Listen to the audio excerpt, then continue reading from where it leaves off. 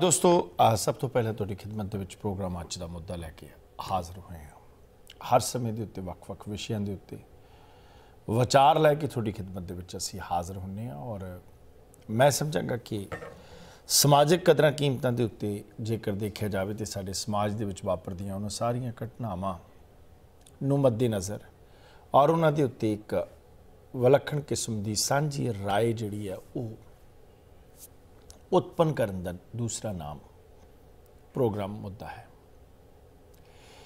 ਔਰ ਅੱਜ ਮੈਂ ਇਹ ਜ਼ਰੂਰ ਗੱਲ ਕਹਿਣੀ ਚਾਹਾਂਗਾ ਕਿ ਅਸੀਂ ਪੱਤਰਕਾਰਤਾ ਦੇ ਵਿੱਚ ਆਪਣੀ ਧਰਤ ਪੰਜਾਬ ਦੀਆਂ ਜਾਂ ਆਪਣੇ ਪਿਛੋਕੜ ਵਾਲੇ ਸਾਰੇ ਲੋਕਾਂ ਦੀਆਂ ਜਾਂ ਆਪਣੀ ਪਿਛੋਕੜ ਵਾਲੀ ਧਰਤੀ ਦੀ ਫਿਕਰਮੰਦੀ ਦਾ ਇਜ਼ਹਾਰ ਕਰਦੇ ਹਾਂ ਉਸ ਧਰਤੀ ਦੀਆਂ ਗੱਲਾਂ ਬਹੁਤ ਕਰਦੇ ਹਾਂ ਪਰ ਜਿਸ ਧਰਤੀ ਦੇ ਉੱਤੇ ਅਸੀਂ ਅੱਜ ਆਣ ਵਸੇ ਹਾਂ ਅੱਜ ਇਹ ਬੜਾ ਜ਼ਰੂਰੀ ਹੋ ਗਿਆ ਕਿ ਇਸ ਜਗ੍ਹਾ ਦੇ ਸਮਾਜ ਦੇ ਹਿੱਤਾਂ ਦੇ ਵਾਸਤੇ ਜਾਂ ਇਸ ਜਗ੍ਹਾ ਦੇ ਸਮਾਜ ਦੇ ਬਾਰੇ ਚ ਵੀ ਵਮੋਚਨ ਜਿਹੜਾ ਉਹ ਕਰਨਾ ਜ਼ਰੂਰ ਬਣਦਾ ਹੈ।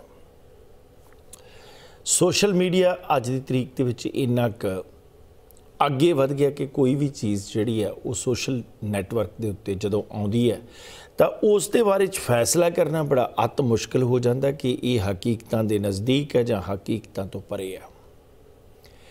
ਜਿੰਨਾ ਮਰਜ਼ੀ ਅਸੀਂ ਸੋਸ਼ਲ ਨੈਟਵਰਕ ਦੇ ਉੱਤੇ ਆਪਣੀ ਚੁਸਤੀ ਫੁਰਤੀ ਜਿਹੜੀ ਹੈ ਉਸ ਨੂੰ ਅੱਗੇ ਲੈ ਆਈਏ। ਪਰ ਮੈਂ ਇੱਕ ਗੱਲ ਜ਼ਰੂਰ ਕਹਾਂਗਾ ਕਿ ਜਦੋਂ ਕਿਸੇ ਗੱਲ ਦੀ ਤਸਦੀਕਸ਼ੁਦਾ ਗਵਾਹੀ ਬਣਦੀ ਹੈ ਤੇ ਉਹ ਅਸਲੀ ਰੂਪ ਦੇ ਵਿੱਚ ਮੀਡੀਆ ਦੇ ਉੱਤੇ ਬਣਦੀ ਹੈ। ਤੇ ਵਿਦੇਸ਼ ਦੇ ਵਿੱਚ ਬੈਠ ਕੇ ਜਦੋਂ ਮੀਡੀਆ ਦੇ ਵਿੱਚ ਇੱਕ ਭਾਈਚਾਰਕ ਸਾਂਝ ਬਣੀ ਹੋਵੇ ਤਾਂ ਉੱਥੇ ਸਭ ਕੁਝ ਸੱਚ ਤੇ ਹਕੀਕਤ ਬਿਆਨ ਕੇ ਉਹਨਾਂ ਫਿਕਰਮੰਦੀ ਵਾਲੇ ਕੰਮਾਂ ਦੇ ਬਾਰੇ ਦੇ ਵਿੱਚ ਮੈਂ ਸਮਝਾਂਗਾ ਕਿ ਇੱਕ ਜਰਾ ਇੱਕ ਸਾਰਿਆਂ ਦੀ ਸਾਂਝੀ رائے ਜਿਹੜੀ ਹੈ ਉਸ ਨੂੰ ਉਤਪੰਨ ਕਰਕੇ ਉਹ رائے ਦੇ ਉੱਤੇ ਜ਼ਰੂਰ ਚੱਲਣਾ ਜਿਹੜਾ ਉਹ ਬਣਦਾ ਹੈ ਅਕਸਰ ਮੈਂ ਆਪਣੇ ਪ੍ਰੋਗਰਾਮਾਂ ਦੇ ਵਿੱਚ ਆਖਿਆ ਕਰਦਾ ਕਿ ਜ਼ਰੂਰੀ ਨਹੀਂ ਕਿ ਮੇਰੇ ਨਾਲ ਮੇਰੇ ਵਿਚਾਰਾਂ ਦਾ ਜਾਂ ਜੋ ਮੈਂ ਆਖਿਆ ਉਸ ਦੇ ਨਾਲ ਸਹਿਮਤ ਹੋਣਾ ਤੁਹਾਡਾ ਜ਼ਰੂਰੀ ਹੈ ਤੇ ਇਸੇ ਕਰਕੇ ਜ਼ਰੂਰੀ ਨਹੀਂ ਬਣ ਜਾਂਦਾ ਕਿ ਜੋ ਕੁਝ ਤੁਸੀਂ ਆਖੋਗੇ ਉਸ ਨਾਲ ਮੇਰਾ ਸਹਿਮਤ ਹੋਣਾ ਜ਼ਰੂਰੀ ਹੈ ਰਲ ਮਿਲ ਕੇ ਵਿਚਾਰਾਂ ਦੇ ਆਦਾਨ ਪ੍ਰਦਾਨ ਦੇ ਨਾਲ ਮੈਂ ਸਮਝਾਂਗਾ ਕਿ ਜੇਕਰ ਕਿਸੇ ਵੀ ਕਾਰਨ ਕੌਮ ਦੇ ਵਿੱਚ ਆਏ ਕਿਸੇ ਵੀ ਤੂਫਾਨ ਦੇ ਨਾਲ ਅੱਜ ਸਾਡੇ ਸਮਾਜ ਦੀ ਬੇੜੀ ਜਿਹੜੀ ਹੈ, ਉਹ ਡਾਵਾਂ ਡੋਲ ਹੈ ਤੇ ਫਿਰ ਕੀ ਹੋਇਆ ਜੇ ਰਲ ਮਿਲ ਕੇ ਹੇਠਾਂ ਉੱਤੇ ਵਾਲੇ ਵਿਚਾਰ ਕਰਕੇ ਉਸ ਨੂੰ ਸੁਲਝਾ ਲਿਆ ਜਾਵੇ। ਵੱਡੇ ਪੱਧਰ ਦੇ ਉੱਤੇ ਜਿਹੜੀ ਚੀਜ਼ ਗਲਤ ਹੁੰਦੀ ਹੈ ਉਸ ਨੂੰ ਗਲਤ ਕਿਹਾ ਜਾਂਦਾ। ਅੱਜ ਮੈਂ ਬਹੁਤ ਹੀ ਦੂਰ ਨਹੀਂ ਜਾਵਾਂਗਾ, ਬਹੁਤ ਚਸਕਰਿਆਂ ਦੇ ਨਾਲ। ਅਸੀਂ ਅੱਜ ਸੋਸ਼ਲ ਨੈਟਵਰਕ ਦੇ ਉੱਤੇ ਸਾਡੇ ਧਰਮ ਪ੍ਰਤੀ, ਸਮਾਜ ਪ੍ਰਤੀ ਕੋਈ ਵੀ ਇਸ ਤਰ੍ਹਾਂ ਦੀ ਗੱਲ ਆਉਂਦੀ ਹੈ ਤਾਂ ਮੈਨੂੰ ਇਸ ਗੱਲ ਕਹਿਣ ਦੇ ਵਿੱਚ ਕੋਈ ਵੀ ਦਰਦ, ਦੁੱਖ, ਰੰਜ ਔਰ ਮੈਂ ਸਮਝਾਂਗਾ ਕਿ ਕੋਈ ਮੈਨੂੰ ਇਸ ਗੱਲ ਦੇ ਵੀ ਕਹਿਣ ਦੇ ਵਿੱਚ ਕੋਈ ਵੀ ਮੈਨੂੰ ਭਲੇਖਾ ਨਹੀਂ ਹੋਣਾ ਚਾਹੀਦਾ ਕਿ 20-25% ਲੋਕ ਜਿਹੜੇ ਨੇ ਉਸ ਘਟਨਾਕ੍ਰਮ ਦੇ ਉੱਤੇ ਦੁੱਖ ਮਨਾਉਂਦੇ ਨੇ 75% ਤੋਂ ਵੱਧ ਲੋਕ ਜਿਹੜੇ ਨੇ ਅੰਕੜੇ ਦੇ ਆਧਾਰ ਦੇ ਉੱਤੇ ਬਹੁਤ ਵਧੀਆ ਜਿਹੜੀਆਂ ਨੇ ਇੱਕ ਦੂਜੇ ਨਾਲ ਹਾਸਾ ਖੇਡਾ ਕਰਕੇ ਤੇ ਦੰਦੀਆਂ ਕੱਢ ਕੇ ਉਸ ਚੀਜ਼ ਦੇ ਉੱਤੇ ਆਪਣਾ ਹਾਸਾ ਮਜ਼ਾਕ ਜਿਹੜਾ ਉਹ ਰੂਹ ਪ੍ਰਸੰਨ ਕਰਦੇ ਨੇ, ਭਾਵੇਂ ਕਿ ਉਸ ਜਗ੍ਹਾ ਦੇ ਉੱਤੇ ਕਿਸੇ ਦੀ ਜ਼ਿੰਦਗੀ ਦਾਅ ਦੇ ਉੱਤੇ ਲੱਗੀ ਹੋਵੇ, ਭਾਵੇਂ ਕਿ ਉਸ ਜਗ੍ਹਾ ਦੇ ਉੱਤੇ ਸਾਡੇ ਧਰਮ ਦੇ ਨਾਲ ਖਿਲਵਾੜ ਹੋ ਰਿਹਾ ਹੋਵੇ, ਪਰ ਮਸਲਾ ਇਸ ਗੱਲ ਦਾ ਹੈ ਕਿ ਜੇਕਰ ਅਜਿਹੀਆਂ ਘਟਨਾਵਾਂ ਦੇ ਉੱਤੇ ਅਸੀਂ ਬਹੁਤ ਸਾਰਥਕ ਸਾਂਝੀ ਤੇ ਇੱਕ ਸਵੱਲੀ ਜੀ ਸੋਚ ਰੱਖੀਏ ਤਾਂ ਸਾਡੇ ਸਮਾਜ ਦੇ ਵਿੱਚ ਬਹੁਤ ਕੁਝ ਘਾਟਾਂ, ਕਮਜ਼ੋਰੀਆਂ ਜਿਹੜੀਆਂ ਨੇ ਉਹ ਦੂਰ ਹੋ ਸਕਦੀਆਂ। ਇਹ ਜ਼ਰੂਰੀ ਨਹੀਂ ਕਿ ਇਕੱਲੀਆਂ ਸਾਡੇ ਸਮਾਜ ਦੇ ਵਿੱਚ ਘਾਟਾਂ, ਕਮਜ਼ੋਰੀਆਂ ਨੇ, ਸਾਡੇ ਸਮਾਜ ਦੇ ਵਿੱਚ ਆਪਣੀਆਂ ਘਾਟਾਂ, ਕਮਜ਼ੋਰੀਆਂ ਸਾਨੂੰ ਦਿਸਦੀਆਂ ਨੇ, ਅਸੀਂ ਉਹ ਬਿਆਨ ਕਰਦੇ ਹਾਂ। ਔਰ ਇਸ ਪ੍ਰੋਗਰਾਮ ਦਾ ਮਕਸਦ ਵੀ ਇਹੀ ਹੈ, ਨਹੀਂ ਤਾਂ ਐਵੇਂ ਨਹੀਂ ਕੋਈ ਗੱਲ ਕਿ ਅਸੀਂ ਬਿਨਾਂ ਗੱਲ ਤੋਂ ਕਈ ਲੋਕ ਜਿਹੜੇ ਨੇ ਉਹ ਠਰ ਜਾਂਦੇ ਨੇ ਕਿ ਇਸ ਪ੍ਰੋਗਰਾਮ ਦੇ ਵਿੱਚ ਅਸੀਂ ਕਹਿੰਦੇ ਇਸ ਪ੍ਰੋਗਰਾਮ ਦਾ ਮਕਸਦ ਹੈ ਹਕੀਕਤਾਂ ਦੇ ਆਸ-ਪਾਸ ਦੀ ਗੱਲ ਕਰਨੀ। ਇਸ ਪ੍ਰੋਗਰਾਮ ਦੇ ਵਿੱਚ ਮੈਂ ਜ਼ਿਕਰ ਕਰਾਂਗਾ Halton Sikh culture association Ontario Canada ਦਾ, ਜਿੱਥੇ ਬੀਤੇ ਦਿਨਾਂ ਦੇ ਵਿੱਚ ਇੱਕ ਸ਼ਰਮਨਾਕ ਘਟਨਾ ਵਾਪਰੀ। ਸ਼ਬਦਾਂ ਦੇ ਵਿੱਚ ਬਿਆਨ ਕਰਨਾ ਹੋਵੇ, ਮਾਨਸਿਕ ਗਹਿਰਾਈਆਂ ਦੇ ਵਿੱਚੋਂ ਬਿਆਨ ਕਰਨਾ ਹੋਵੇ। ਕੋਈ ਗੁਰੂ ਗ੍ਰੰਥ ਸਾਹਿਬ ਜੀ ਦੇ ਲੜ ਲੱਗਾ ਹੋਇਆ, ਉਹਨੂੰ ਇਸ਼ਟ ਮੰਨਣ ਵਾਲਾ ਵਿਅਕਤੀ ਜਿਹੜਾ ਉਸ ਨੂੰ ਗੁਰੂ ਮੰਨਣ ਵਾਲਾ ਵਿਅਕਤੀ ਜਿਹੜਾ ਸਾਰੇ ਆ, ਜੇਕਰ ਉਹਨਾਂ ਨੇ ਬਹੁਤ ਡੀਪਲੀ ਪੱਧਰ ਤੋਂ, ਜੇਕਰ ਉਹਨਾਂ ਨੇ ਬੜੇ ਸੋਚ ਪੱਧਰ ਤੋਂ ਇਸ ਗੱਲ ਨੂੰ ਸੋਚਣਾ ਹੋਵੇ, ਤਾਂ ਕਦੇ ਵੀ ਕਿਸੇ ਜਗ੍ਹਾ ਦੇ ਉੱਤੇ ਵੀ ਮਰਿਆਦਾ ਨੂੰ ਢਾਹ ਲੱਗਦੀ ਹੈ, ਜਾਂ ਪਿਛਲੇ ਦਿਨਾਂ ਦੇ ਵਿੱਚ ਅਸੀਂ ਤਾਂ ਹੋਕਾ ਵੀ ਦਿੱਤਾ ਸੋਸ਼ਲ ਨੈਟਵਰਕ ਦੇ ਉੱਤੇ ਕਿ ਇਸ ਤਰ੍ਹਾਂ ਧਰਮ ਦਾ ਬਾਣਾ ਪਾ ਕੇ ਉਹ ਵਣਜ਼ਾਰੇ ਜਿਹੜੇ ਨੇ ਇੱਕ ਦੂਜੇ ਨੂੰ ਗਾਲਾਂ ਕੱਢ ਕੱਢ ਕੇ ਧਰਮ ਦੀ ਖਿੱਲੀ ਉਡਾ ਰਹੇ ਨੇ, ਤੇ ਇਸੇ ਤਰ੍ਹਾਂ ਦੀ ਇੱਕ ਖਿੱਲੀ ਜਿਹੜੀ ਹੈ, ਉਹ Halton Sikh culture association Ontario ਦੇ ਉਸ ਗੁਰਦੁਆਰਾ ਦੇ ਵਿੱਚ ਜਿਹੜੀ ਹੈ ਉਹ ਵਾਪਰੀ। ਜਿਸ ਦੇ ਨਾਲ ਮਨ ਨੂੰ ਦੁੱਖ ਵੀ ਹੋਇਆ, ਪਰ ਮਨ ਨੂੰ ਦੁੱਖ ਹੋਣ ਤੋਂ ਬਾਅਦ ਇਸ ਗੱਲ ਦੇ ਵਿੱਚ ਕੋਈ ਆਰ-ਪਾਰ ਦੀ ਗੱਲ ਕਰਨੀ ਜਿਹੜੀ ਹੈ, ਕੋਈ ਔਖੀ ਨਹੀਂ ਰਹਿ ਜਾਂਦੀ ਕਿ ਇਸ ਘਟਨਾਕ੍ਰਮ ਦੇ ਵਿੱਚ ਦੋਸ਼ੀ ਕੌਣ ਹੈ।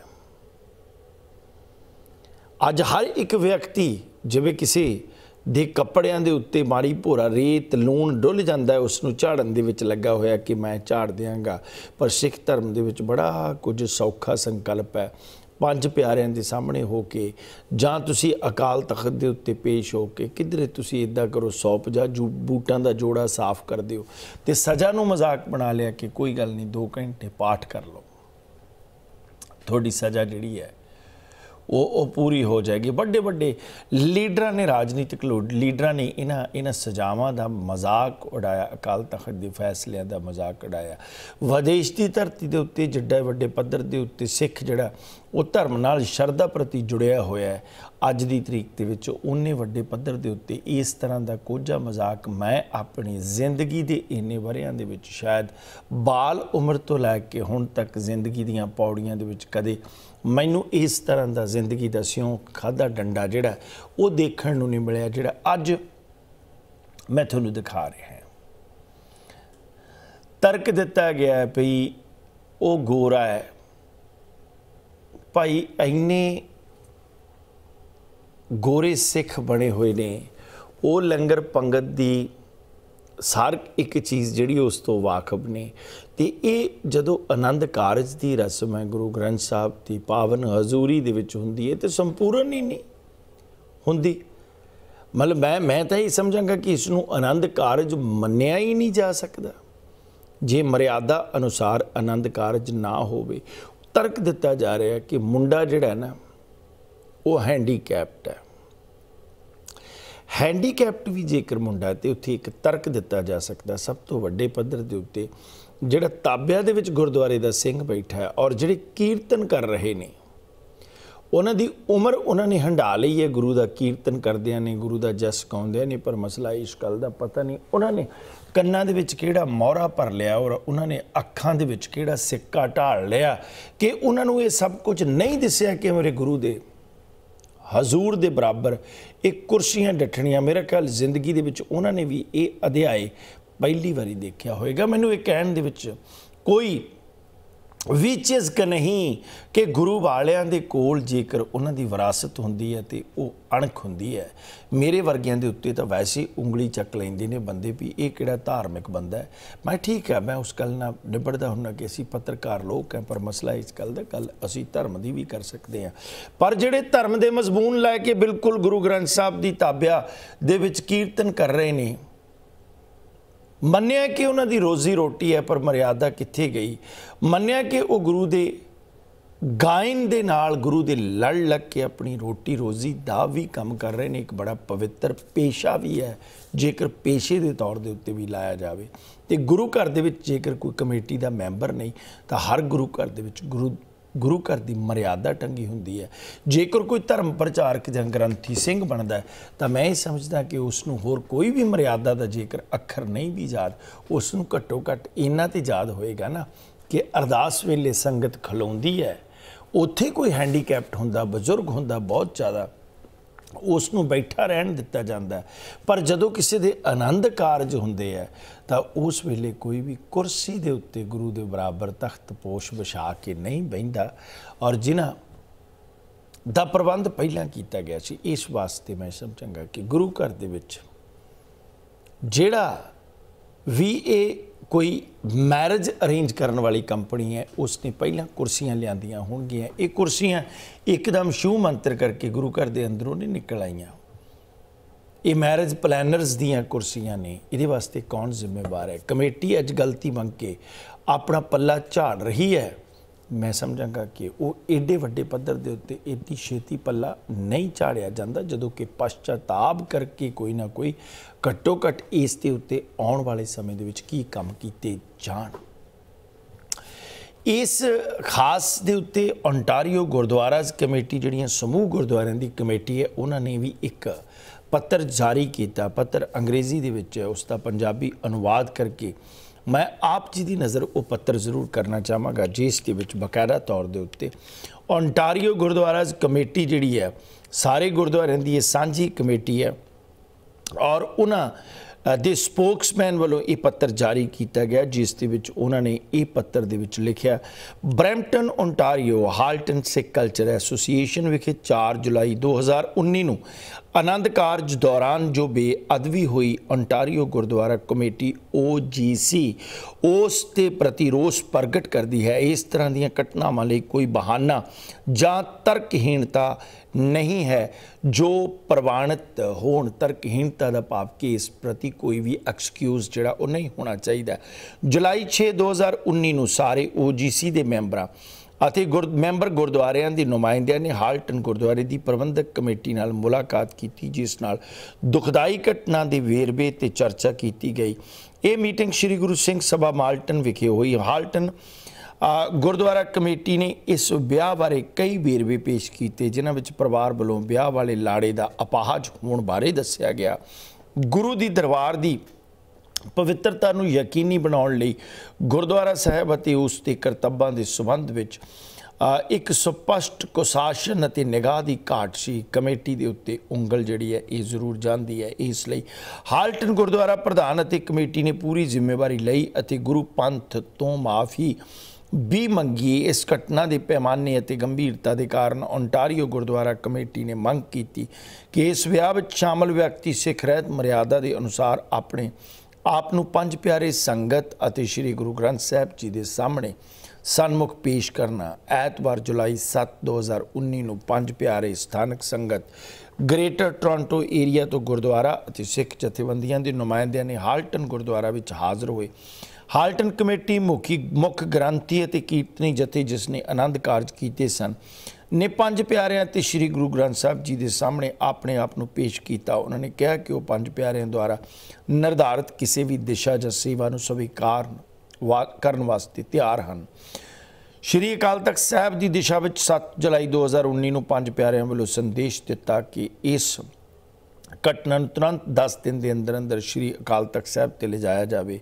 ਪੰਜ ਪਿਆਰਿਆਂ ਨੇ ਬੇਨਤੀ ਕੀਤੀ ਕਿ ਸੰਗਤ ਵਿੱਚ ਮਾਮਲੇ, ਇਸ ਮਾਮਲੇ ਤੇ ਟਿੱਪਣੀ ਕਰਨ ਤੋਂ ਪਰਹੇਜ਼ ਕਰੇ ਅਤੇ ਸ਼੍ਰੀ ਅਕਾਲ ਤਖਤ ਸਾਹਿਬ ਦੀ ਪ੍ਰਕਿਰਿਆ ਦਾ ਆਦਰ ਕਰੇ, ਸੰਗਤ ਕਿਉਂ ਟਿੱਪਣੀ ਕਰਨ ਤੋਂ ਪਰਹੇਜ਼ ਕਰੇ? ਗੁਰੂ ਦੇ ਹਰ ਇੱਕ ਸਿੱਖ ਨੂੰ ਅਧਿਕਾਰ ਹੈ ਕਿ ਉਹ ਇਸ ਦੇ ਉੱਤੇ ਆਪਣਾ ਪ੍ਰਤੀਕਰਮ ਤੇ ਆਪਣੀ ਟਿੱਪਣੀ ਨਿਰਵਿਘਨ ਨਿਰਪੈ ਤੇ ਨਿਰਭਉ ਢੰਗ ਨਾਲ ਜਿਹੜਾ ਹੈ ਉਹ ਕਰ ਸਕਦਾ ਹੈ। ਇਸ ਮਸਲੇ ਦੀ ਨਿਗਰਾਨੀ ਕਰਨ ਤੋਂ ਇਲਾਵਾ ਸਿੱਖ ਮਰਿਆਦਾ ਦੀ ਪੂਰਤੀ ਨੂੰ ਯਕੀਨੀ ਬਣਾਉਣ ਲਈ OGC ਵੱਲੋਂ ਅੰਟਾਰੀਓ ਦੇ ਸਾਰੇ ਆਨੰਦ ਕਾਰਜਾਂ ਦੀ ਸਮੀਖਿਆ ਕੀਤੀ ਜਾਵੇਗੀ। ਅਸੀਂ ਫਿਰ ਤੋਂ ਵਾਪਰਨ ਵਾਲੀਆਂ ਘਟਨਾਵਾਂ ਨੂੰ ਰੋਕਣ ਲਈ ਸੰਗਤ ਅਤੇ ਗੁਰਦੁਆਰਾ ਪ੍ਰਬੰਧਕ ਕਮੇਟੀਆਂ ਦੇ ਦਿਸ਼ਾ ਨਿਰਦੇਸ਼ਾਂ ਨਾਲ ਸੰਪਰਕ ਕਰਾਂਗੇ। ਅਸੀਂ ਦੁਨੀਆ ਭਰ ਵਿੱਚ ਸਿੱਖ ਜਥੇਬੰਦੀਆਂ ਨੂੰ ਇਸ ਤਰ੍ਹਾਂ ਕਰਨ ਲਈ ਉਤਸ਼ਾਹਤ ਕਰਦੇ ਹਾਂ। ਇਹ ਓਨਟਾਰੀਓ ਗੁਰਦੁਆਰਾ ਕਮੇਟੀ ਜਿਹੜੀ ਹੈ, ਗੁਰਦੁਆਰਿਆਂ ਦੀ ਕਮੇਟੀ ਹੈ, ਉਸ ਵੱਲੋਂ ਜਾਰੀ ਕੀਤਾ ਹੋਇਆ ਸਰਕੂਲਰ ਹੈ। ਪਰ ਮਸਲਾ ਇਸ ਗੱਲ ਦਾ, ਪੰਜ ਪਿਆਰੇ ਅਕਾਲ ਤਖਤ ਸਾਹਿਬ, ਜਿੱਥੋਂ ਸਿਰਸਾ ਸਾਧ ਵੀ ਮਾਫ ਹੋ ਜਾਂਦਾ ਹੈ, ਜਿੱਥੋਂ ਰਾਜਨੀਤਿਕ ਲੋਕਾਂ ਨੂੰ ਜੇਕਰ ਸਜ਼ਾ ਲਾਈ ਜਾਂਦੀ ਹੈ ਤੇ ਉਹਨਾਂ ਨੂੰ ਅਖੰਡ ਪਾਠ ਕਰਾਉਣ ਜਾਂ ਗੁਰੂ ਦਾ ਪਾਠ ਜਿਹੜਾ ਹੈ, ਗੁਰੂ ਦੀ ਗੁਰਬਾਣੀ ਸੁਣਨ ਦੀ ਸਜ਼ਾ ਲਾਈ ਜਾਂਦੀ ਹੈ। ਜਿੱਥੇ ਜੇਕਰ ਧਿਆਨ ਨਾਲ ਦੇਖਿਆ ਜਾਵੇ ਤਾਂ ਜੇਕਰ ਗੁਰੂ ਦੀ ਗੁਰਬਾਣੀ ਸੁਣਨਾ, ਗਾਇਨ ਕਰਨਾ ਜਾਂ ਖੰਡ ਪਾਠ ਸਾਹਿਬ ਕਰਵਾਉਣਾ, ਜੇਕਰ ਉਹ ਸਜ਼ਾ ਹੈ, ਤਾਂ ਧਾਰਮਿਕ ਪਵਿੱਤਰਤਾ ਜਿਹੜੀ ਹੈ, ਉਹ ਕਿੱਥੇ ਚਲੇ ਜਾਂਦੀ ਹੈ। ਔਰ ਇਸੇ ਤਰ੍ਹਾਂ ਬੜੇ ਸਤਕਾਰ ਦੇ ਵਿੱਚ ਹੀ ਹਾਲਟਨ ਸਿੱਖ ਕਲਚਰ ਐਸੋਸੀਏਸ਼ਨ, ਜਿਸ ਗੁਰਦੁਆਰੇ ਦੇ ਵਿੱਚ ਘਟਨਾ ਵਾਪਰੀ, ਉਸ ਦੇ ਪ੍ਰਬੰਧਕਾਂ ਨੇ ਹਾਲਟਨ ਸਿੱਖ ਕਲਚਰ ਐਸੋਸੀਏਸ਼ਨ ਦੇ ਪ੍ਰਬੰਧਕਾਂ ਨੇ ਇੱਕ ਪੱਤਰ ਜਾਰੀ ਕੀਤਾ, ਜਿਸ ਦੇ ਉੱਤੇ ਬਲਵੀਰ ਸਿੰਘ ਚੌਹਾਨ ਜਿਹੜੇ ਗੁਰੂ ਘਰ ਦੇ ਪ੍ਰੈਜ਼ੀਡੈਂਟ ਨੇ ਤੇ ਅਮਰੀਕ ਸਿੰਘ ਦਿਓਲ ਜਿਹੜੇ ਗੁਰੂ ਘਰ ਦੇ ਜਨਰਲ ਸਕੱਤਰ ਨੇ, ਉਸ ਵਿੱਚ ਲਿਖਿਆ ਕਿ ਹਾਲਟਨ ਸਿੱਖ ਕਲਚਰ ਐਸੋਸੀਏਸ਼ਨ ਦੇ ਪ੍ਰਬੰਧਕਾਂ ਨੇ ਗੁਰੂ ਘਰ ਵਿੱਚ ਹੋਏ ਕੱਲ ਦੇ ਇਸ ਵਿਆਹ ਦੀ ਰਸਮ ਨੂੰ ਗੰਭੀਰਤਾ ਨਾਲ ਲਿਆ, ਜਿਸ ਨਾਲ ਸਿੱਖ ਸੰਗਤ ਵਿੱਚ ਬਹੁਤ ਦਰਦ, ਦੁੱਖ ਅਤੇ ਉਦਾਸੀ ਭਰੀ ਹੋਈ ਹੈ। ਉਸਨੇ ਕਿਹਾ, ਉਹਨਾਂ ਨੇ ਕਿਹਾ ਕਿ ਪ੍ਰਬੰਧਕ ਕਮੇਟੀ ਇਸ ਰਸਮ ਦੇ ਹਰ ਪਹਿਲੂ ਦੀ ਪੜਤਾਲ ਕਰੇਗੀ। ਅਤੇ ਸਿੱਖ ਸਾਧ ਸੰਗਤ ਨੂੰ ਕਿਸ ਤਰ੍ਹਾਂ ਇਹ ਘਟਨਾ ਵਾਪਰੀ ਬਾਰੇ ਦੱਸਿਆ ਜਾਵੇਗਾ। ਬਦਕਿਸਮਤੀ ਨਾਲ ਇੰਜ ਲੱਗਦਾ ਹੈ ਕਿ ਵਿਆਹ ਦੇ ਯੋਜਨਾਕਾਰਾਂ ਦੁਆਰਾ ਬਿਨਾਂ ਕਿਸੇ ਦੀ ਆਗਿਆ ਦੇ ਆਪਣੇ ਆਪ ਕਾਰਵਾਈ ਕੀਤੀ ਗਈ। ਹਾਲਟਨ ਸਿੱਖ ਕਲਚਰ ਐਸੋਸੀਏਸ਼ਨ ਨੇ ਹਮੇਸ਼ਾ ਸ਼੍ਰੀ ਅਕਾਲ ਤਖਤ ਸਾਹਿਬ ਦੀ ਗੁਰ ਰਹਿਤ ਮਰਿਆਦਾ ਦੀ ਪਾਲਣਾ ਕੀਤੀ। ਹਾਲਟਨ ਸਿੱਖ ਕਲਚਰ ਐਸੋਸੀਏਸ਼ਨ ਦੀ ਪ੍ਰਬੰਧਕ ਕਮੇਟੀ ਨੇ ਮੁਆਫੀ ਵੀ ਮੰਗੀ ਤੇ ਗੁਰੂ ਨਾਨਕ ਨਾਮ ਲੈਵਾ ਸਾਧ ਸੰਗਤ ਤੋਂ ਨੂੰ ਮਾਫ ਕਰਨ ਲਈ ਬੇਨਤੀ ਵੀ ਕੀਤੀ। ਭਵਿੱਖ ਵਿੱਚ ਅਸੀਂ ਅਜਿਹੀ ਕਿਸੇ ਘਟਨਾ ਤੋਂ ਬਚਣ ਲਈ ਪੂਰੀ ਚੌਕਸੀ ਦੇ ਨਾਲ ਹਰ ਗਤੀਵਿਧੀ ਦੇ ਉੱਤੇ ਨਿਗਰਾਨੀ ਰੱਖਾਂਗੇ। ਗੁਰਦੁਆਰੇ ਖਾਲਾ ਜੀ ਦਾ ਵਾੜਾ ਨਹੀਂ, ਗੁਰਦੁਆਰਿਆਂ ਦੇ ਉੱਤੇ ਨਿਗਰਾਨੀ ਕਿਉਂ ਨਹੀਂ ਰੱਖੀ ਜਾਂਦੀ? ਗੁਰਦੁਆਰਿਆਂ ਦੇ ਵਿੱਚ ਪ੍ਰਬੰਧਕ ਕਮੇਟੀਆਂ ਦੇ ਮੈਂਬਰ ਜਿਹੜੇ ਨੇ, ਉਹ ਜੇਕਰ ਹਾਜ਼ਰ ਨਹੀਂ, ਤਾਂ ਮੁੱਖ ਗ੍ਰੰਥੀ ਔਰ ਕੀਰਤਨ ਕਰਨ ਵਾਲੇ ਸਿੰਘ ਦੀ ਜ਼ਿੰਮੇਵਾਰੀ ਜਿਹੜੀ ਆ, ਉਹ ਕੀ ਬਣਦੀ ਹੈ? ਅਸੀਂ ਕੋਸ਼ਿਸ਼ ਕੀਤੀ ਹੈ ontario ਗੁਰਦੁਆਰਾ ਜਿੰਨੇ ਗੁਰਦੁਆਰੇ, ਉਹਨਾਂ ਦੀ ਕਮੇਟੀ, ਜਿਹੜੀ ਗੁਰਦੁਆਰਾ ਕਮੇਟੀਆਂ ਦੇ ਬਕਾਇਦਾ ਤੌਰ ਦੇ ਉੱਤੇ ਟੈਲੀਫੋਨ ਗੁਰੂ ਘਰ ਦੇ ਨੰਬਰਾਂ ਦੇ ਉੱਤੇ, ਉਥੇ ਹਾਜ਼ਰ ਜਿਹੜੇ ਗੁਰੂ ਘਰ ਦੇ ਮੈਨੇਜਰ ਜਾਂ ਜੋ ਵੀ ਪ੍ਰਬੰਧਕ ਫੋਨ ਚੱਕਦੇ ਨੇ, ਉਹਨਾਂ ਨੇ ਸਾਨੂੰ ਕਿਸੇ ਵੀ ਰਿਸਪੌਂਸੀਬਲ ਵਿਅਕਤੀ ਦਾ ਨੰਬਰ ਦੇਣ ਤੋਂ ਇਨਕਾਰ ਕਰ ਦਿੱਤਾ।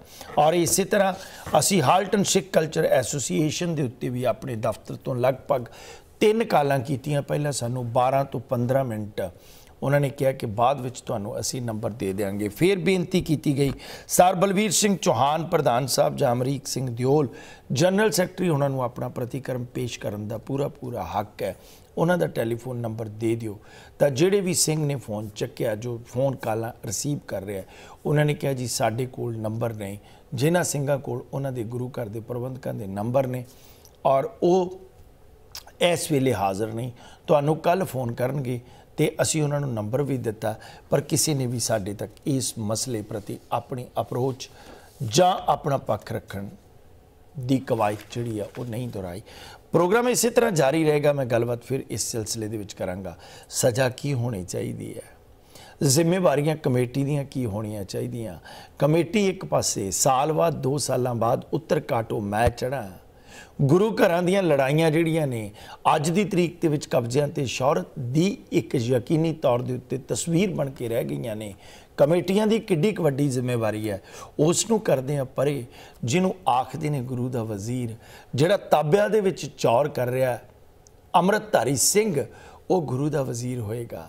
ਜਿਹੜੇ ਗੁਰੂ ਸਾਹਿਬ ਦੀ ਤਾਬਿਆਂ 'ਚ ਬੈਠ ਕੇ ਕੀਰਤਨ ਕਰਕੇ ਆਨੰਦ ਕਾਰਜ ਕਰਵਾ ਰਹੇ ਨੇ ਉਹਨਾਂ ਨੂੰ ਇਹਨਾਂ ਜ਼ਿੰਮੇਵਾਰੀਆਂ ਦਾ ਅਹਿਸਾਸ ਹੋਏਗਾ, ਪਤਾ ਹੋਏਗਾ ਕਿ ਸਿਰਫ ਤੇ ਸਿਰਫ ਸਾਡੀ ਅੱਜ ਧਰਮ ਪ੍ਰਚਾਰ ਦੇ ਨਾਂ ਦੇ ਉੱਤੇ ਡਾਲਰ ਚੁਗਣ ਦੀ ਜ਼ਿੰਮੇਵਾਰੀ ਰਹਿ ਗਈ ਹੈ ਜਾਂ ਰਹਿਤ ਮਰਿਆਦਾ ਤੋਂ ਕੋਰੇ ਅਸੀਂ ਭੱਜ ਚੁੱਕੇ ਹਾਂ। ਪ੍ਰਚਾਰਕਾਂ ਵਾਸਤੇ ਇੱਕ ਬਹੁਤ ਵੱਡਾ ਸਬਕ ਹੈ, ਪ੍ਰੋਗਰਾਮ ਰਹੇਗਾ ਜਾਰੀ ਇਸੇ ਤਰ੍ਹਾਂ। ਮਿਲਦੇ ਇੱਕ ਛੋਟੇ ਜਿਹੇ ਬ੍ਰੇਕ ਤੋਂ ਬਾਅਦ। ਆਦੋ ਸੁਣ ਹਾਜ਼ਰ ਹੋਏ ਹਾਂ ਤੁਹਾਡੀ ਖidmat ਦੇ ਵਿੱਚ ਪ੍ਰੋਗਰਾਮ ਅੱਜ ਦਾ ਮੁੱਦਾ ਲੈ ਕੇ। ਬਹੁਤ ਵੱਡਾ ਇਹ ਗੁਨਾਹ ਹੋਇਆ, ਬਹੁਤ ਵੱਡੀ ਕੋਤਾਹੀ ਹੋਈ ਹੈ, ਖਾਸ ਤੌਰ ਦੇ ਉੱਤੇ ਗੁਰੂ ਘਰ ਦੇ ਵਿੱਚ। ਮੈਂ ਸਮਝਾਂਗਾ, ਮੈਂ ਪਹਿਲਾਂ ਵੀ ਦੱਸ ਚੁੱਕਾ, ਆਪਣੀ ਜ਼ਿੰਦਗੀ ਦੇ ਵਿੱਚ ਇਸ ਤਰ੍ਹਾਂ ਦੀ ਕੋਤਾਹੀ ਕੋਈ ਵੀ ਨਹੀਂ ਦੇਖੀ। ਅੱਜ ਗੱਲ ਹੋ ਰਹੀ ਹੈ ਕਿ ਉਹਨਾਂ ਨੂੰ ਸਜ਼ਾ ਕਿਸ ਨੂੰ ਦਿੱਤੀ ਜਾਵੇ ਤੇ ਜ਼ਿੰਮੇਵਾਰ ਕੌਣ ਹੈ?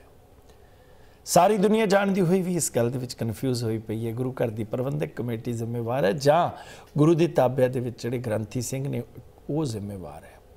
ਪਰ ਮੈਂ ਇੱਕ ਗੱਲ ਜ਼ਰੂਰ ਕਵਾਂਗਾ ਕਿ ਜਿਹੜੇ ਵਿਆਹ ਕਰਾਉਣ ਆਏ, ਭਾਵੇਂ ਉਹਨਾਂ ਦੇ ਵਿੱਚੋਂ ਇੱਕ ਵਿਅਕਤੀ ਸਿੱਖ ਮੂਲ ਨਾਲ ਸਿੱਖ ਧਰਮ ਦੇ ਨਾਲ ਤਾਲੁਕ ਰੱਖਦਾ ਸੀ, ਲੜਕੀ ਤਾਲੁਕ ਰੱਖਦੀ ਸੀ, ਉਹਦੇ ਪਰਿਵਾਰ ਵਾਲਿਆਂ ਨੂੰ। ਉਸਦੇ ਪਰਿਵਾਰ ਵਾਲੇ ਬਕਾਇਦਾ ਤੌਰ ਦੇ ਉੱਤੇ ਜ਼ਿੰਮੇਵਾਰ ਨੇ ਉਸਦੇ ਪੇਰੈਂਟਸ ਜ਼ਿੰਮੇਵਾਰ ਨੇ। ਜਿਹੜੇ ਲੋਕਾਂ ਨੇ ਪ੍ਰੋਗਰਾਮ ਆਨੰਦ ਕਾਰਜ ਦੀ ਰਸਮ ਬੁੱਕ ਕਰਾਈ, ਉਹ ਵੀ ਜ਼ਿੰਮੇਵਾਰ ਨੇ, ਉਹਨਾਂ ਨੂੰ ਤਲਬ ਕੀਤਾ ਜਾਣਾ ਚਾਹੀਦਾ ਗੁਰਦੁਆਰਾ ਸਾਹਿਬ ਦੇ ਵਿੱਚ। ਉਹਨਾਂ ਨੂੰ ਬਕਾਇਦਾ ਤੌਰ ਦੇ ਉੱਤੇ ਕੋਈ ਸੇਵਾ ਦੀ ਸਜ਼ਾ ਲਾਉਣੀ ਚਾਹੀਦੀ ਹੈ। ਅੱਜ ਅੱਜ ਕੀਰਤਨ ਵਾਲੇ ਸਿੰਘਾਂ ਦੀ ਜਾਂ ਗ੍ਰੰਥੀਆਂ ਕੋਲੋਂ ਮਾਫੀਆਂ ਮੰਗਵਾ ਕੇ ਵੈਸੇ ਉਹਨਾਂ ਦਾ ਅਸਤਿਤਵ ਜਿਹੜਾ ਉਹ ਨੀਵਾ ਕਰਕੇ ਤੁਹਾਨੂੰ ਮਾਫੀਆਂ ਮੰਗਵਾ ਕੇ ਕੋਈ ਨਹੀਂ ਮਿਲਣਾ। ਅੱਜ ਹਮਾਮ ਦੇ ਵਿੱਚ ਸਾਰੇ ਨੰਗੇ ਨੇ। ਅਕਾਲ ਤਖਤ ਸਾਹਿਬ ਦੇ ਉੱਤੇ ਤੁਸੀਂ ਉੱਥੇ ਪੇਸ਼ ਕਰੋਗੇ, ਜਿਸ ਤਰ੍ਹਾਂ ਦੀਆਂ ਸਜ਼ਾਵਾਂ ਉੱਥੇ ਮਿਲਦੀਆਂ, ਜਾਂ ਜਿਸ ਤਰ੍ਹਾਂ ਦਾ ਰਤਬਾ ਉਹਨਾਂ ਲੋਕਾਂ ਨੇ ਬਣਾਇਆ, ਆਪਾਂ ਨੂੰ ਭਲੀ ਭਾਂਤ ਜਾਣੂ। ਜੇ ਬਕਾਇਦਾ ਤੌਰ ਦੇ ਉੱਤੇ ਓਨਟਾਰੀਓ ਦੇ ਗੁਰੂ ਘਰਾਂ ਦੀ ਇਹ ਸੰਸਥਾ ਬਣੀ ਆ, ਮੈਂ ਸਮਝਾਂਗਾ ਕਿ ਸਜ਼ਾ ਕੋਈ ਉਸ ਤਰ੍ਹਾਂ ਦੀ ਦਿੱਤੀ ਜਾਵੇ ਕਿ ਵਿਦੇਸ਼ ਦੇ ਵਿੱਚ ਪਾਠੀ ਸਿੰਘ ਆਏ ਘੱਟੋ ਘੱਟ 2-3 ਮਹੀਨੇ ਫ੍ਰੀ ਗੁਰੂ ਘਰਾਂ ਦੇ ਵਿੱਚ ਇਹਨਾਂ ਨੂੰ ਕੀਰਤਨ ਕਰਨ ਵਾਸਤੇ ਭੇਜਿਆ ਜਾਵੇ ਕਿ ਹਰ ਗੁਰੂ ਘਰ ਦੇ ਵਿੱਚ ਤੁਸੀਂ ਕੀਰਤਨ ਕਰਨਾ। ਆਪਣੀ ਭੇਟਾ ਜਿਹੜੀ ਹੈ ਨਾ 2 ਮਹੀਨੇ ਜਦੋਂ ਜਿਹੜੀ ਭੇਟਾ ਬਣੀ ਹੈ, ਉਹੋ ਹੀ ਗੁਰੂ ਦੀ ਗੋਲਕ ਦੇ ਵਿੱਚ ਪਾਉਣੀ ਪਏਗੀ ਤਾਂ ਫਿਰ ਇਹਨਾਂ ਨੂੰ ਜ਼ਿੰਮੇਵਾਰੀਆਂ ਦਾ ਅਹਿਸਾਸ ਜਿਹੜਾ, ਉਹ ਹੋ ਜਾਏਗਾ। ਕਦੇ ਆ ਤਸਵੀਰ ਜਿਹੜੀ ਹੈ, ਉਹ ਨਹੀਂ ਦੇਖੀ ਹੋਏਗੀ।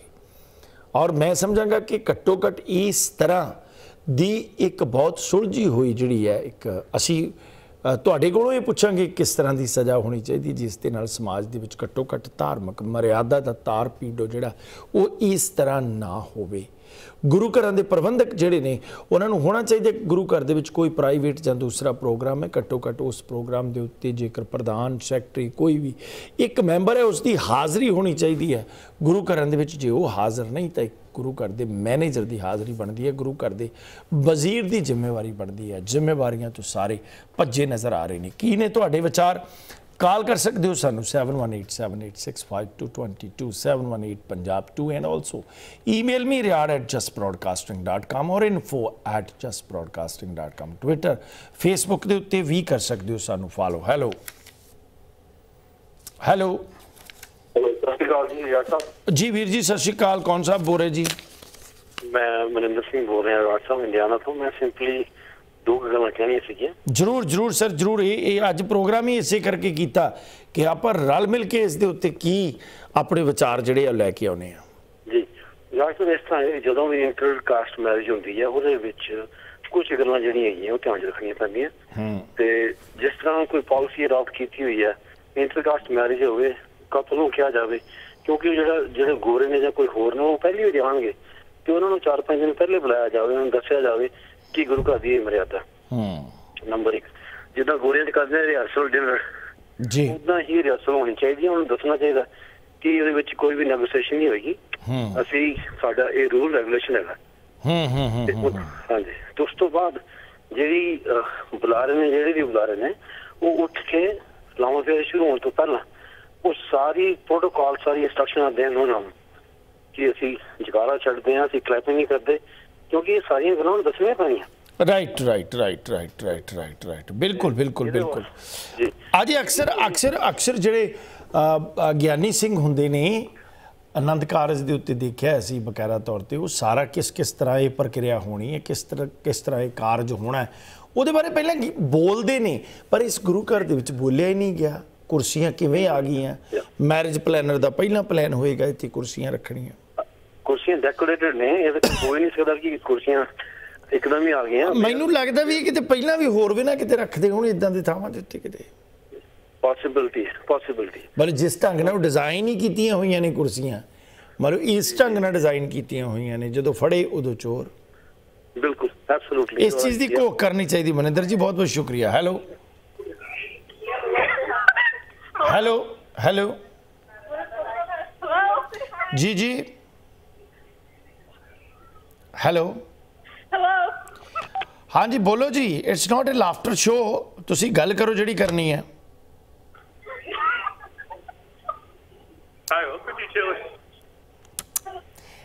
ਆ ਜਿਹੜੀ ਚੀਜ਼ ਹੈ ਨਾ ਜੀ ਸਾਡੇ ਸਮਾਜ ਦੀ ਕਿੱਡੀ ਵੱਡੀ ਤਸਵੀਰ। ਪਹਿਲਾਂ ਦੱਸ ਚੁੱਕਾ ਚਿੜੀਆਂ ਦੀ ਮੌਤ ਤੇ ਗਵਾਰਾਂ ਦਾ ਹਾਸਾ। ਆ ਲੋਕ ਧਰਮ ਵਾਸਤੇ ਜ਼ਿੰਮੇਵਾਰ ਨੇ। ਕਾਲ ਲਾ ਕੇ ਸਿਰਫ ਹੱਸ ਸਕਦੇ ਨੇ ਤੇ ਉਹ ਪ੍ਰਤੀਕਿਰਿਆ ਵਾਸਤੇ ਦੇਖ ਕੇ ਇਹਨਾਂ ਦੇ ਮਨ ਦੇ ਵਿੱਚ ਕਿੰਨੀ ਕੁ ਪੀੜ ਹੁੰਦੀ ਹੋਏਗੀ ਉਹ ਧਰਮ ਹੈ। ਜਿਸ ਧਰਮ ਦੀਆਂ ਨੀਹਾਂ ਦੇ ਵਿੱਚ ਗੁਰੂ ਗੋਬਿੰਦ ਸਿੰਘ ਪਾਤਸ਼ਾਹ ਨੇ ਆਪਣੇ ਚਾਰ ਲਾਲ ਜਿਹੜੇ ਨੇ ਉਹ ਨੀਹਾਂ ਦੇ ਵਿੱਚ ਦਫਨ ਕੀਤੇ ਹੋਏ ਨੇ ਤੇ ਅਸੀਂ ਉਸ ਮਰਿਆਦਾ ਦੀਆਂ ਧੱਜੀਆਂ ਜਿਹੜੀਆਂ ਨੇ ਉਹ ਅਡਾਉਣ ਦੇ ਉੱਤੇ ਜਿਹੜੀ ਆ ਉਹ ਖਿੱਲੀ ਅਡਾਉਣ ਦੇ ਵਿੱਚ ਪਿੱਛੇ ਨਹੀਂ ਜਾਂਦੇ। ਹੈਲੋ। ਭਾਜੀ ਯਾਰ ਜੀ ਮੈਂ ਗੁਰਦੇਵ ਕੰਗ ਬੋਲ ਰਿਹਾ ਵਰਜੀਨੀਆ ਤੋਂ। ਹਾਂ ਜੀ ਗੁਰਦੇਵ ਕੰਗ ਜੀ ਸਤਿ ਸ਼੍ਰੀ ਅਕਾਲ ਜੀ। ਸਤਿ ਸ੍ਰੀ ਅਕਾਲ ਜੀ ਮੈਂ ਸਭ ਤੋਂ ਪਹਿਲਾਂ ਤੇ ਇਹ ਘਟਨਾ ਦੀ ਬਹੁਤ ਜ਼ਿਆਦਾ ਨਿੰਦਾ ਕਰਦਾ ਜੀ। ਸਿੱਖ ਕੌਮ ਦਾ ਸਾਰਿਆਂ ਦਾ ਖਾਸ ਕਰਕੇ ਸਾਡਾ ਕੈਨੇਡਾ ਅਮਰੀਕਾ ਵਾਲਿਆਂ ਦਾ ਸਿਰ ਜਿਹੜਾ ਉਹ ਨੀਵਾ ਕੀਤਾ ਇਹਨਾਂ ਨੇ ਇਸ ਪਰਿਵਾਰ ਨੇ। ਜਿੱਥੇ ਰਾਗੀ ਸਿੰਘਾਂ ਦੀ ਗੱਲ ਹੈ, ਮੈਂ ਇਹਨਾਂ ਸਿੰਘਾਂ ਨੂੰ ਇਹ ਪੁੱਛਣਾ ਚਾਹੁੰਦਾ ਕਿ ਗੈਰ ਸਿੱਖ ਦੀਆਂ ਲਾਵਾਂ ਗੁਰੂ ਗ੍ਰੰਥ ਸਾਹਿਬ ਦੀ ਤਾਬਿਆ ਵਿੱਚ ਹੋ ਸਕਦੀਆਂ? ਤੇ ਉਹ ਜਿਹੜੇ ਪਰਿਵਾਰ ਨੂੰ ਅਸੀਂ ਕਿੰਨੇ ਕਿ ਸਜ਼ਾ ਲਾਉਣੀ, ਉਹ ਪਰਿਵਾਰ ਨੇ ਸਜ਼ਾ ਦੀਆਂ ਧੱਜੀਆਂ ਉਡਾ ਦਿੱਤੀਆਂ। ਕਿ ਉਹਨਾਂ ਨੇ ਕਿੰਨਾ ਕੁ ਸੰਸਕਾਰ ਵਾਲਾ ਉਹ ਪਰਿਵਾਰ ਹੋਏਗਾ, ਜਿਸ ਨੇ ਆਪਣੀ ਲੜਕੀ ਜਿਹੜੀ ਗੈਰ ਸਿੱਖ ਨਾਲ ਆਪਣੀ ਸ਼ਾਦੀ ਕੀਤੀ ਹੈ। ਉਹਨਾਂ ਨੂੰ ਸਜ਼ਾ ਤੇ ਉਹਨਾਂ ਨੇ ਆਪਣੇ ਆਪ ਹੀ ਲਵਾ ਲਈ। ਇਹ ਸਾਡੇ ਅਕਾਲ ਤਖਤ ਸਾਹਿਬ ਨੂੰ ਸਿੱਖ ਸੰਸਥਾਵਾਂ ਨੂੰ ਉਹ ਖਾਸ ਕਰਕੇ ਸਾਡੇ ਪਰਿਵਾਰਾਂ ਨੂੰ ਕਮਿਊਨਿਟੀ ਵਾਲਿਆਂ ਨੂੰ ਇਸ ਗੱਲ ਦਾ ਅਹਿਸਾਸ ਹੋਣਾ ਚਾਹੀਦਾ ਕਿ ਗੈਰ ਸਿੱਖ ਦੀਆਂ ਲਾਵਾਂ ਕਦੇ ਵੀ ਜਿਸ ਨੂੰ ਗੁਰਬਾਣੀ ਵਾਲੇ ਕੀ ਪੰਜਾਬੀ ਵਾਲੇ ਵੀ ਨਹੀਂ ਪਤਾ ਉਹ ਗੁਰੂ ਗ੍ਰੰਥ ਸਾਹਿਬ ਦੀ ਤਾਬਿਆ ਵਿੱਚ ਲਾਵਾਂ ਨਹੀਂ ਹੋ ਸਕਦੀਆਂ। ਮੈਂ 1981 ਤੋਂ ਇਸ ਗੱਲ ਦਾ ਵਿਰੋਧ ਕਰਦਾ ਆ ਰਿਹਾ ਕਰੂੰਗਾ ਵੀ ਤੇ ਕਰਾਂਗੇ ਵੀ। ਸਾਰੀ ਕਮਿਊਨਿਟੀ ਨੂੰ ਇਸ ਗੱਲ ਦੇ ਵਿੱਚ ਇਹਨਾਂ ਨੂੰ ਮੈਸੇਜ ਦੇਣ ਦਾ ਪ੍ਰਬੰਧ ਕਰਨਾ ਚਾਹੀਦਾ ਕਿ ਗੈਰ ਸਿੱਖ ਦੀਆਂ ਲਾਵਾਂ ਕਦੇ ਵੀ ਗੁਰੂ ਗ੍ਰੰਥ ਸਾਹਿਬ ਦੇ ਸਾਹਮਣੇ ਨਹੀਂ ਹੋ ਸਕਦੀਆਂ ਨਾ ਹੋਣ। ਮਿਹਰਬਾਨੀ ਤੁਹਾਡਾ ਬਹੁਤ ਬਹੁਤ ਧੰਨਵਾਦ। ਹੈਲੋ ਹੈਲੋ ਵਾਹਿਗੁਰੂ ਖਾਲਸਾ ਵਾਹਿਗੁਰੂ ਜੀ ਕੀ ਫਤਿਹ ਜੀ। ਜੀ ਵਾਹਿਗੁਰੂ ਜੀ ਕਾ ਖਾਲਸਾ ਵਾਹਿਗੁਰੂ ਜੀ ਕੀ ਫਤਿਹ। ਕੌਣ ਸਾਹਿਬ ਬੋਲ ਰਹੇ ਜੀ? ਦਾਸ ਮੋਹਨ ਬੋਸਟਨ ਤੋਂ ਬੋਲਦਾ ਜੀ। ਹਾਂ ਜੀ ਸਾਹਿਬ ਮੋਹਨ ਸਿੰਘ ਜੀ ਕੀ ਹਾਲ ਚਾਲ ਹੈ? ਠੀਕ ਹੈ ਇਹ ਮੈਂ ਦੇਖ ਰਿਹਾ ਸੀ ਪ੍ਰੋਗਰਾਮ ਹੁਣੇ ਤੁਹਾਡਾ ਤੇ ਇਟਸ ਵੈਰੀ ਸ਼ੇਮਫੁਲ ਹੂੰ ਹੂੰ। ਤੇ ਇਹਦੇ ਵਿੱਚ ਗੱਲ ਇਹ ਵੀ ਜਿਹੜੇ ਰਾਗੀ ਸਿੰਘ ਨੇ ਜੀ। ਤੇ ਜਿਹੜੇ ਤਾਬਿਆਂ ਦੇ ਬੈਠੇ ਨੇ ਚਾਰ ਬੰਦੇ ਜ਼ਿੰਮੇਵਾਰ ਨੇ ਇਸ ਦੇ। ਜੀ ਜੀ। ਇਹਨਾਂ ਚਾਰਾਂ ਬੰਦਿਆਂ ਨੂੰ ਘੱਟੋ ਘੱਟ ਵੀ 3 ਤੋਂ ਜਾਂ 9 ਮਹੀਨੇ ਤੱਕ ਦੀ ਇਹਨਾਂ ਨੂੰ ਫ੍ਰੀ ਸੇਵਾ ਕਰਨੀ ਚਾਹੀਦੀ ਕੋਈ ਵਕਲਾਂ ਦੇ ਵਿੱਚ। ਹੂੰ ਹੂੰ। ਇਟ ਇਜ਼ ਵੈਰੀ ਸ਼ੇਮਫੁਲ ਜੀ ਜੀ ਜੀ ਜੀ ਜੀ ਜੀ। ਦਾਸ ਨੇ ਕਹਿਣਾ ਕਿ ਚਾਹੁੰਦਾ ਸੀ ਵਾਹਿਗੁਰੂ ਜੀ ਕਾ ਖਾਲਸਾ ਵਾਹਿਗੁਰੂ ਜੀ ਕੀ ਫਤਿਹ। ਵਾਹਿਗੁਰੂ ਜੀ ਕੀ ਫਤਿਹ ਹੈਲੋ ਹੈਲੋ ਹਾਂ ਜੀ ਸਤਿ ਸ਼੍ਰੀ ਅਕਾਲ ਜੀ। ਸਤਿ ਸ਼੍ਰੀ ਅਕਾਲ ਧਾਲੀਵਾਲ ਬੋਲ ਰਹੇ ਹਾਂ ਜੀ। ਹਾਂ ਜੀ ਧਾਲੀਵਾਲ ਸਾਹਿਬ ਸਤਿ ਸ਼੍ਰੀ ਅਕਾਲ ਕੀ ਕਹੋਗੇ? ਗੱਲ ਇਹ ਆ ਵੀ ਮੁੱਦਾ ਬਹੁਤ ਸੰਜੀਦਾ ਹੈ ਔਰ ਇਹਦੀ ਜਿੰਨੀ ਨਿੰਦਿਆ ਕੀਤੀ ਜਾਵੇ ਉਨੀ ਘੱਟ ਆ ਜੀ। ਜੀ। ਅੱਛਾ ਇਹ ਜੇ ਕੋਈ ਇੱਥੇ ਮੈਂ ਕਈ ਵਿਆਹ ਦੇਖਿਆ ਜਿਹਦੇ ਵਿੱਚ ਗੋਰੇ ਮਤਲਬ ਕਈ ਵਾਰੀ ਹਸਬੰਡ ਹੁੰਦੇ ਆ ਜਾਂ ਕੋਈ ਲੜਕੀ ਜੀ ਆ। ਥੋੜਾ ਜਿਹਾ ਉੱਚੀ ਬੋਲਿਓ ਉਸਤਾਦ ਸਾਹਿਬ ਮਾੜਾ ਜਿਹਾ ਆਵਾਜ਼ ਘਟ ਜਾਂਦੀ ਹੈ ਤੁਹਾਡੀ ਕਈ ਵਾਰੀ ਹਾਂਜੀ। ਮੈਂ ਕਹਿੰਦਾ ਵੀ ਇੱਥੇ ਮੈਂ ਸੈਨੋ ਦੇ ਜਾਂ ਸੈਕਰਾਮੈਂਟੋ ਦੋ ਤਿੰਨ ਵਿਆਹ ਅਟੈਂਡ ਕੀਤੇ ਆ। ਜੀ। ਜਿਹਦੇ ਵਿੱਚ ਇੱਕ ਮਤਲਬ ਪਾਰਟਨਰ ਦੋਵਾਂ ਚੋਂ ਕੁੜੀ ਜਾਂ ਮੁੰਡਾ ਗੋਰਿਆਂ ਚੋਂ ਆਗੇ ਲੇਕਿਨ ਖੜੇ ਹੋ ਕੇ ਉਸ ਤੋਂ ਪਹਿਲੋਂ ਜਿਹੜਾ ਵੀ ਉੱਥੇ ਕੋਈ ਐਡਮਿਨਿਸਟ੍ਰੇਸ਼ਨ ਕਰ ਰਿਹਾ ਕੋਈ ਗਿਆਨੀ ਹੈ ਜਾਂ ਸੈਕਟਰੀ ਹੈ ਜਾਂ ਕੋਈ ਮੈਨੇਜਰ ਹੈ ਉਹ ਡਿਟੇਲਡ ਇੰਗਲਿਸ਼ ਵਿੱਚ ਉਹਨਾਂ ਨੂੰ ਪਹਿਲਾਂ ਦੱਸਦੇ ਆ। ਹੂੰ। ਔਰ ਉਸ ਤੋਂ ਬਾਅਦ ਉਹ ਨਾਲ ਨਾਲ ਜਦੋਂ ਉਹ ਲਾਵਾਂ ਹੋਣੀਆਂ ਜਾਂ ਪਾਠ ਹੁੰਦਾ ਹੈ ਜਾਂ ਉਹ ਨਾਲ ਨਾਲ ਐਕਸਪਲੇਨ ਕਰਦੇ ਆ ਔਰ ਉਦਾਂ ਉਦਾਂ ਹੀ ਉਹ ਮਤਲਬ ਗੋਰੇ ਜਾਂ ਜਿਹੜੇ ਆ ਉਹ ਫਾਲੋ ਕਰਦੇ ਆ। ਔਰ ਗੁਰ ਮਰਿਆਦਾ ਅਨਸਾਰ ਜਿਹੜਾ ਆ ਉਹ ਵਿਆਹ ਹੋਣਾ ਚਾਹੀਦਾ ਇਹ ਬਹੁਤ ਹੀ ਗਲਤ ਹੋਇਆ ਜੋ ਹੋਇਆ। ਜੀ। ਹੋਣਾ ਨਹੀਂ ਚਾਹੀਦਾ ਔਰ ਇਹਨੂੰ ਬਹੁਤ ਤਗੜੇ ਤਰੀਕੇ ਨਾਲ ਜਿਹੜੀ ਆ ਪਨਿਸ਼ਮੈਂਟ ਹੋਣੀ ਚਾਹੀਦੀ ਆ। ਉਹ ਚਾਰੇ ਪਾਰਟੀਆਂ ਜ਼ਿੰਮੇਵਾਰ ਆ। ਗਿਆਨੀ ਵੀ ਕੀਰਤਨ ਕਰਨ ਵਾਲੇ ਵੀ ਤੇ ਜਿਨ੍ਹਾਂ ਨੇ ਅਰਦਾਸ ਕੀਤੀ ਆ ਉਹ ਵੀ। ਇਹ ਜੀ ਇੱਕ ਬਿਲਕੁਲ ਖਤਮ ਹੋਣ ਇਦਾਂ ਅਗਿਆਹ ਵਾਸਤੇ ਨਹੀਂ ਹੋਣਾ ਚਾਹੀਦਾ ਜੋ ਮਰਜ਼ੀ ਹੋਵੇ ਇਟਸ ਵੈਰੀ ਸੈਡ ਮਿਹਰਬਾਨੀ। ਤੁਹਾਡਾ ਬਹੁਤ ਬਹੁਤ ਸ਼ੁਕਰੀਆ ਬਹੁਤ ਬਹੁਤ ਧੰਨਵਾਦ। ਦੋਸਤੋ ਤੁਹਾਡੀਆਂ ਕਾਲਸ ਲਗਾਤਾਰ ਲਵਾਂਗੇ। ਪ੍ਰੋਗਰਾਮ ਨੂੰ ਇਸੇ ਤਰ੍ਹਾਂ ਜਾਰੀ ਰੱਖਾਂਗੇ ਕੀ ਸੁਝਾਅ ਹੋਣੇ ਚਾਹੀਦੇ ਨੇ ਇਸ ਤਰ੍ਹਾਂ ਦੀਆਂ ਘਟਨਾਵਾਂ, ਜਿਹੜੀਆਂ ਕਿ ਮੈਂ ਸਮਝਾਂਗਾ ਕਿ ਸਿੱਖ ਕੌਮ ਤਾਂ ਬਹੁਤ ਵੱਡੇ ਵੱਡੇ ਮਸਲਿਆਂ ਦੇ ਵਿੱਚ ਉਲਝੀ ਹੋਈ ਹੈ। ਔਰ ਜੇਕਰ ਇਸ ਤਰ੍ਹਾਂ ਦੀਆਂ ਘਟਨਾਵਾਂ ਆਪ ਹੀ ਸਾਨੂੰ ਹੋਰ ਉਲਝਾਉਣ ਜਾਂ ਸਾਡੇ ਸਫ਼ਰ ਦੇ ਵਿੱਚ ਬੇੜੀਆਂ ਬਣਨਗੀਆਂ ਜਾਂ ਸਾਡਾ ਜਗਤ ਤਮਾਸ਼ਾ ਬਣਨਗੀਆਂ ਇਸ ਤਰ੍ਹਾਂ ਦੀਆਂ ਤਾਂ ਮੈਂ ਸਮਝਾਂਗਾ ਕਿ ਬੜੀ ਡਿਸਪਲਿਨਰੀ ਕੌਮ ਹੋਣੀ ਚਾਹੀਦੀ ਹੈ, ਜਦ ਕਿ ਅੱਜ ਦੀ ਤਰੀਕ ਦੇ ਵਿੱਚ, ਵਿਦੇਸ਼ ਦੇ ਵਿੱਚ ਵੀ ਸਾਡੇ ਉੱਤੇ ਹੋ ਰਿਹਾ ਇਸ ਤਰ੍ਹਾਂ ਦਾ ਕਿ ਭਾਈ ਇੱਥੇ ਆਹ ਗੱਲ ਹੈ, ਬੋਲ ਬਰਾਲਾ ਇੱਕ ਦੂਸਰੇ ਦੇ ਖਿਲਾਫ ਅਸੀਂ ਤਰਕ ਦੇ ਨਾਲ ਕਿਸੇ ਨੂੰ ਸੁਣਨਾ ਵੀ ਨਹੀਂ ਚਾਹੁੰਦੇ ਤੇ ਕਿਸੇ ਨੂੰ ਤਰਕ ਦੇ ਨਾਲ ਕੋਈ ਗੱਲ ਦੱਸਣੀ ਵੀ ਨਹੀਂ ਚਾਹੁੰਦੇ। ਸਾਡੀ ਬਦਕਿਸਮਤੀ ਬਣ ਗਈ ਹੈ ਕਿ ਅਸੀਂ ਬਕਾਇਦਾ ਤੌਰ ਦੇ ਉੱਤੇ ਆਮੋ ਸਾਹਮਣੇ ਬੈਠ ਕੇ ਇੱਕ ਦੂਜੇ ਨੂੰ ਸੁਣਨ ਦੀ ਬਜਾਏ ਉਸੇ ਵੇਲੇ ਏਡੇ ਇੱਕ ਬੇਸਬਰੇ ਦੌਰ ਦੇ ਵਿੱਚੋਂ ਲੰਘ ਰਹੇ ਹਾਂ। ਕਿ ਅਸੀਂ ਚੱਕ ਕੇ ਇੱਕ ਦੂਜੇ ਨਾਲ ਕੁੱਟ ਕਟਾਪੇ ਦੇ ਉੱਤੇ ਉਤਰ ਆਉਨੇ ਆ, ਕਦੇ ਸਟੇਜਾਂ ਦੇ ਉੱਤੋਂ। ਐਲਾਨ ਕਰਨ ਵਾਲੀ ਇਹ ਸਿੱਖ ਕੌਮ ਹਮੇਸ਼ਾ ਕਿ ਜਿਹੜੀ ਦਸਤਾਰ ਹੈ ਇਹ ਤਾਂ ਸਾਡੀ ਹੈ ਨਹੀਂ ਤੇ ਗੁਰੂ ਗੋਬਿੰਦ ਸਿੰਘ ਦੀ ਆ, ਪਰ ਜਦੋਂ ਲਾਉਣ ਦੀ ਵਾਰੀ ਆਉਂਦੀ ਹੈ ਫਿਰ ਨਹੀਂ ਵੇਖੀ ਜਾਂਦੀ ਕਿਹਦੀ ਆ, ਇੱਕ ਦੂਜੇ ਦੇ ਉੱਤੇ ਚਪਟ ਚਪਟ ਕੇ ਪੈਣ ਦੀਆਂ ਗੱਲਾਂ ਜਿਹੜੀਆਂ ਨੇ, ਉਹ ਹੁੰਦੀਆਂ ਨੇ। ਅੱਜ ਇਹ ਸ਼ਰਮਨਾਕ ਕਾਰਿਆਂ ਦੇ ਵਿੱਚ ਸਾਡੀ ਕੌਮ ਜਿਹੜੀ ਅੱਜ ਦੀ ਤਰੀਕ ਦੇ ਵਿੱਚ ਉਲਝੀ ਹੋਈ ਹੈ ਤੇ ਉੱਤੋਂ ਜੇਕਰ ਇਸ ਤਰ੍ਹਾਂ ਦੇ ਹੋਰ ਘਟਨਾਕ੍ਰਮ ਸਾਡੀ ਕੌਮ ਦੀ ਉਸ ਹਿਸਟਰੀ ਦੇ ਵਿੱਚ, ਹੋਰ ਕੰਮਾਂ ਦੇ ਵਿੱਚ, ਹੋਰ ਇਸ ਤਰ੍ਹਾਂ ਦੀਆਂ ਘਟਨਾਵਾਂ ਦੇ ਵਿੱਚ ਇੰਦਰਾਜ਼ ਹੋ ਜਾਣਗੇ ਤਾਂ ਕਿੱਥੇ ਖੜੇ ਖਲੋਤੇ ਰਹਿ ਜਾਵਾਂਗੇ ਪ੍ਰੋਗਰਾਮ ਨੂੰ ਜ- ਰੱਖਾਂਗਾ ਜਾਰੀ ਇਸੇ ਤਰ੍ਹਾਂ ਮਿਲਦੇ ਇੱਕ ਛੋਟੇ ਜਿਹੇ ਬ੍ਰੇਕ ਤੋਂ ਬਾਅਦ ਆ ਦੋਸਤੋ ਮੁੜ ਹਾਜ਼ਰ ਹੋਏ ਹਾਂ ਤੁਹਾਡੀ ਖidmat ਦੇ ਵਿੱਚ ਪ੍ਰੋਗਰਾਮ ਅੱਜ ਦਾ ਮੁੱਦਾ ਲੈ ਕੇ ਕਰੀਏ ਤੁਹਾਡੇ ਨਾਲ ਵਿਚਾਰਾਂ ਹੈਲੋ ਹੈਲੋ ਹੈਲੋ ਲੋ ਹਾਂਜੀ ਸਤਿ ਸ਼੍ਰੀ ਅਕਾਲ ਜੀ ਸਤਿ ਸ਼੍ਰੀ ਅਕਾਲ ਜੀ ਹਾਂ ਸਤਿ ਸ਼੍ਰੀ ਅਕਾਲ ਜਨਾਬ ਸਾਹਿਬ ਹਾਂਜੀ ਹਾਂਜੀ ਕੀ ਕਹੋਗੇ ਜੀ ਕੌਣ ਸਾਹਿਬ ਬੋਲ ਰਹੇ ਹੋ ਮੈਂ ਹਰੀ ਬੋਲ ਰਿਹਾ ਜੀ। ਜੀ ਹਰੀ ਜੀ ਕੀ ਕੀ ਕਹੋਗੇ ਸਰ? ਕਹਿਣਾ ਕੀ ਹੈ ਜੀ? ਮਰਿਆਦਾ ਜਿਹੜੀ ਆ ਸਾਰੀ ਹੁੰਦੀ ਆ ਹੁਣ ਤੁਸੀਂ ਲਾ ਲਓ ਆਪਣੇ ਅਮਰੀਕਾ ਦੇ ਵਿੱਚ। ਹੂੰ ਹੂੰ। ਨਿਊਯਾਰਕ ਦੇ ਵਿੱਚ। ਜੀ। ਮੋਕੀ ਪਾਰਕ ਦੇ ਵਿੱਚ। ਮੋਕੀ ਪਾਰਕ ਦੇ ਵਿੱਚ ਆਪਾਂ ਜਨਮ ਰਹੇ ਆ ਕੀ ਗੱਲ ਆਪਣੇ ਗੁਰਦੁਆਰੇ ਗਏ? ਇਹ ਇਹ ਭਾਜੀ ਡਿਫਰੈਂਟ ਇਸ਼ੂ ਆ ਇਹ ਡਿਫਰੈਂਟ ਇਸ਼ੂ ਆ ਇਹਨੂੰ ਜੇ ਕਿਤੇ ਡਿਸਕਸ ਕਰਨਾ ਹੋਇਆ ਅਸੀਂ ਜ਼ਰੂਰ ਸਬਜੈਕਟ ਲੈ ਕੇ ਆਵਾਂਗੇ। ਲੋਕੀ ਪਾਰਕ ਵਿੱਚ ਸਭ ਕੁਝ ਹੁੰਦਾ ਆ ਲੋਕੀ ਕੀ ਕੁਝ ਨਹੀਂ ਕਰਦੇ। ਤੇ ਸਮੋਕੀ ਪਾਰਕ ਵਿੱਚ ਆਪਾਂ ਮਨਾ ਰਹੇ ਆ ਤੇ ਕੀ ਗੱਲ ਉਹ ਓਕੇ ਹਰੀ ਜੀ ਜ਼ਰੂਰ ਜ਼ਰੂਰ ਆਪਾਂ ਇੱਥੇ ਡਿਸਕਸ ਕਰਾਂਗੇ। ਥੈਂਕ ਯੂ ਹੈਲੋ ਹੈਲੋ ਹਾਂ ਜੀ ਸਤਿ ਸ਼੍ਰੀ ਅਕਾਲ ਜੀ। ਸਤਿ ਸ੍ਰੀ ਅਕਾਲ ਜੀ। ਜੀ ਹਾਂ ਜੀ ਹਾਂ ਜੀ। ਕੀ ਕਹੋਗੇ ਸਰ ਹਰਿਆਣ ਸਾਹਿਬ ਜੀ ਮੈਂ ਹਰਵਿੰਦਰ ਰਿਆੜ ਬੋਲ ਰਿਹਾ। ਹਾਂਜੀ ਸਤਿ ਸ੍ਰੀ ਅਕਾਲ ਜੀ। ਸਤਿ ਸ਼੍ਰੀ ਅਕਾਲ। ਮੈਂ ਰੰਧਾਵਾ ਬਲਦਮ ਲਈ ਯਾਰ ਤੋਂ। ਹਾਂ ਜੀ ਰੰਧਾਵਾ ਸਾਹਿਬ ਕੀ ਕਹੋਗੇ ਇਸ ਘਟਨਾ ਦੇ ਉੱਤੇ? ਇਹ ਬਹੁਤ ਮਾੜੀ ਘਟਨਾ ਹੋਈ ਹੈ ਜੀ। ਇਹਦੇ ਕਸੂਰਵਾਰ ਜਿਹੜੇ ਉੱਥੇ ਬੰਦੇ ਜਿਹੜੇ ਮਤਲਬ ਜਿਹੜੇ ਗਿਆਨੀ ਹੈਗੇ ਆ ਹੂੰ। ਜਿਹੜੇ ਉਹਨਾਂ ਨੂੰ ਮਤਲਬ ਉਹਨੂੰ ਗਾਈਡ ਨਹੀਂ ਕੀਤਾ ਉਹਨਾਂ ਸਹੀ ਤਰੀਕੇ ਨਾਲ। ਜੀ। ਉਹ- ਉਹ ਜ਼ਿੰਮੇਵਾਰ ਉਹ ਹੀ ਹੈਗਾ। ਹਾਂ।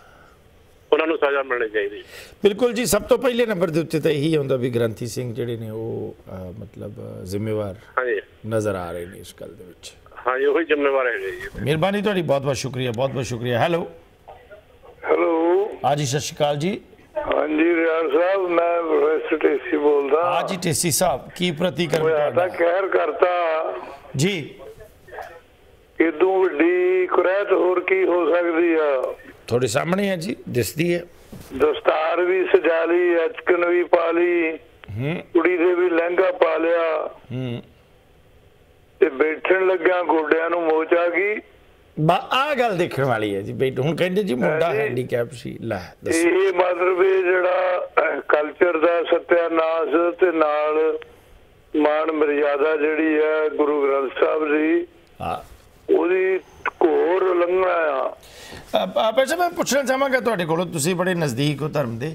ਭਾਈ ਜੇ ਕਦੇ ਇਹ ਇਹ ਵੀ ਹੁੰਦਾ ਕਿ ਜੇਕਰ ਕਿਧਰੇ ਕੋਈ ਇਦਾਂ ਦੀ ਮੈਡੀਕਲੀ ਪ੍ਰੋਬਲਮ ਹੈ ਕਿ ਕੋਈ ਬੰਦਾ ਬੈਠ ਨਹੀਂ ਸਕਦਾ ਤੇ ਜਿਹੜੇ ਆਨੰਦ ਕਾਰਜ ਹੈ ਉਹ ਖੜਿਆਂ ਖੜਿਆਂ ਦੇ ਉੱਤੇ ਹੋ ਸਕਦੇ ਨੇ ਕਿ ਠੀਕ ਹੈ ਨਹੀਂ ਇੱਕ ਖੜਿਆਂ ਦੇ ਤਾਂ ਕਰਦੇ ਆ ਬਹੁਤ।